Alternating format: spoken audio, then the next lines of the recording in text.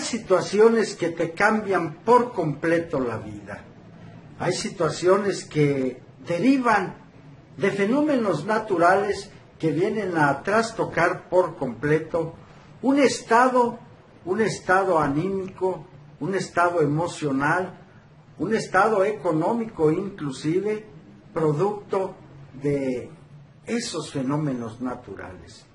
Quiero referirme en concreto, amigas, amigos, a lo acontecido en este año 2021 por allá en el municipio de Abasolo y en concreto a lo acontecido a principios del mes de septiembre de este 2021. El desbordamiento de las aguas del río Turbio vino a provocar lo que siempre provoca desde hace muchos años, cada año, inundaciones desastres, inundaciones y desastres que desafortunadamente afectan la vida, la propiedad de muchas y muchos abasolenses. Y esto, amigas, amigos, es producto, pues vuelvo a repetirlo, de fenómenos naturales como son las inundaciones, pero que a lo largo de muchos y muchos años poco, muy poco o casi nada se ha venido realizando para solventar a futuro estos siniestros naturales. Hay que recordar que el agua, el agua busca su cauce natural y que si lo ve obstruido, forzosamente buscará pues otros senderos para circular buscando, buscando siempre dónde desfogar. En este 2021, varias comunidades del municipio de Abasolo se vieron afectadas, empezando por la comunidad La Canoa, siguiendo luego Santa Cecilia, Huitzatarito, La Chinche, en donde a consecuencia, reitero, del desbordamiento del río Turbio, muchas familias perdieron su patrimonio. Afortunadamente, desgracias personales no hubo que lamentar, pero el patrimonio, la estabilidad, aquella felicidad de contar con un hogar dotado de muebles, dotado de todo lo necesario para tener una vida más o menos aceptable, se fue por la borda. Patrimonios enteros que desaparecieron a consecuencia, reitero, de las aguas que inundaron los hogares abasolenses en esta zona de ese municipio tan bonito que es mi querido y lindo Abasolo. Grupo Periodístico Suroeste de Guanajuato, amigas, amigos, tuvo acceso, muchísimas gracias, al propietario de una vivienda localizada en la comunidad La Chinche y que nos permitió amablemente el acceso a su domicilio, el acceso a lo que fue su hogar, porque hasta la fecha Hoy, hoy estoy grabando este video, 22 de noviembre, hasta la fecha no ha podido retornar a habitar aquel su hogar. En las imágenes que les vamos a mostrar enseguida, podemos apreciar cómo todos los enseres domésticos de esta casa habitación quedaron completamente inservibles. Las aguas, las aguas de la inundación, arrasaron por completo con todo, con todo el meneaje de este hogar, de esta casa habitación. Dejaron inservibles todos los enseres domésticos, desde aparatos de televisión, refrigeradores, computadoras, juegos de sala, camas, sillones, y ya no se diga ropa y demás enseres domésticos. Asimismo, las mismas aguas, amigas, amigos, gracias al nivel, a la altura del nivel que alcanzaron, dañaron seriamente esta propiedad. Y se puede apreciar ahí en las manchas, en las manchas que dejó el nivel del agua, hasta dónde subió este, se puede apreciar cómo se hace necesario que se le dé atención a estos inmuebles, a esta casa habitación de la comunidad La Chinche, a efecto de que a futuro sus habitantes puedan regresar e ir poco a poco, paulatinamente, volviendo a integrar su hogar.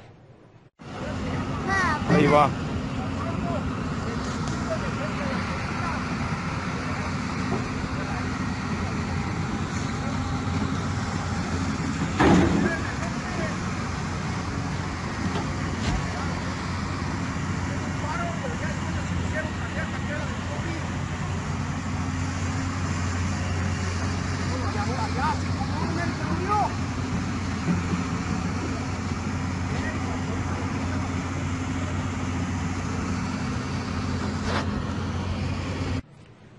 Esta misma familia, dedicada a la actividad económica consistente principalmente en la cría de ganado, sobre todo de cerdos, y desde luego también dedicada en una proporción menor a el trabajo de la agricultura, vio completamente mermada su calidad productiva. Las corraletas en donde alrededor de 100 lechones quedaron vacías, dañadas, los lechones fueron arrastrados por el caudal de las aguas, había puercas de cría que afortunadamente lograron rescatar, pues algunas de ellas, pero lo demás se lo llevó el agua, alimento, alimento que tenían para darle de comer a este ganado, se lo llevó el agua también. Las gráficas, las tomas que realizamos son más que elocuentes. Se acabó el patrimonio de aquella familia en lo que hace a la cría de cerdos. En las gráficas también se pueden apreciar los daños que resintieron las corraletas, corraletas que en su momento estaban habilitadas, reitero, para la cría de cerdos, especialmente lechones.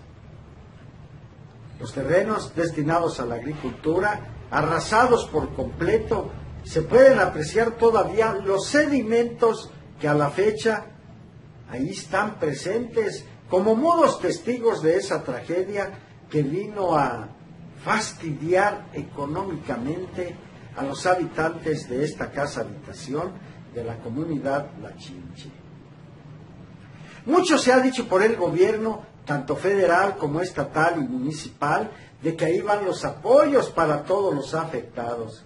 Estoy hablándoles, amigas, amigos, de dos meses y medio y al menos, al menos esta familia de la comunidad La Chinche, pues ni en sueños, ni en sueños han visto una mano oficial que se extienda, una mano oficial que les brinde un apoyo, que les brinde una ayuda para poder continuar adelante, tanto con su actividad económica como creadores de ganado, como creadores de cerdos, como para poder volver, poder regresar a sus hogares y seguir haciendo su vida común, la vida a la que estaban acostumbrados desde hace muchos años.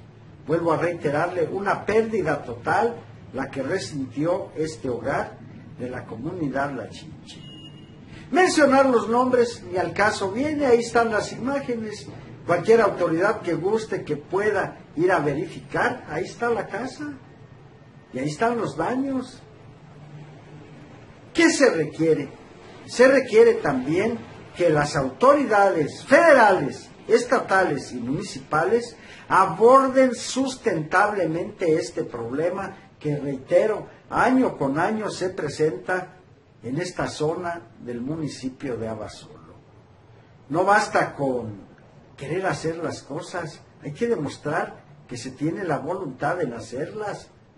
Probablemente, pues, desasolvar de una manera efectiva, eficaz, el cauce, el cauce del río Turbio y de esta manera prevenir, prevenir que a futuro, pues, no se vuelvan a presentar estas inundaciones que, reitero, afectan considerablemente a las familias abasolenses de aquella zona.